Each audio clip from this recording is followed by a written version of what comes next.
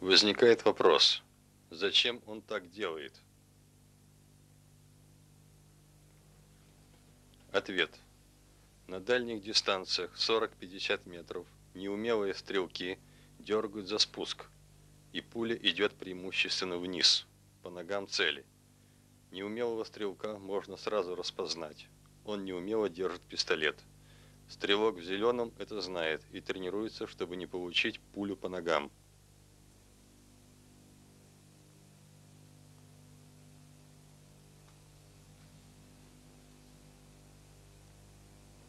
Он подбирает ноги в прыжке и падает в бок. В натуре пуля по ногам выглядит вот так.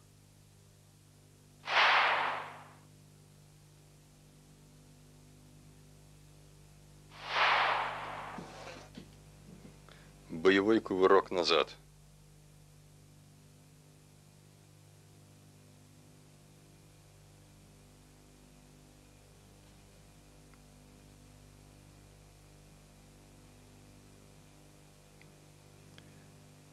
Перекат с выходом.